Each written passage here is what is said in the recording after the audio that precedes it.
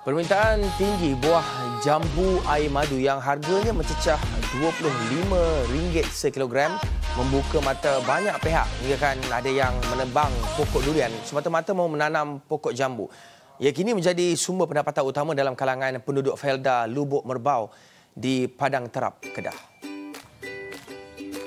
Generasi kedua Felda Lubuk Merbau, Abdul Karim Ismail, 42 tahun, mula mengusahakan tanaman jambu air madu melalui konsep kebun rumah.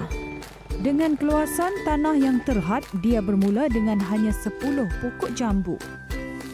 Sambutan yang menggalakkan dan keuntungannya berganda mendorong Karim menebang pokok durian di sekitar halaman digantikan dengan 35 pokok jambu.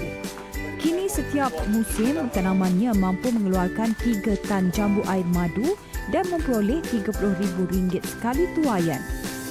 Jambu air madu mengeluarkan hasil sebanyak empat kali dalam setahun iaitu Januari, Mac, Jun dan September.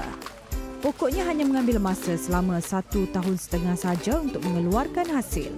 Saya nanti syorkan ramai di sini setiap rumah satu pokok. Ha, satu pokok. Lepas tu saya akan ajar saya. Kejayaannya menanam jambu air madu menyebabkan Felda memberi kepercayaan kepadanya untuk menanam pokok itu di tanah seluas 1.5 hektar pada Januari lalu.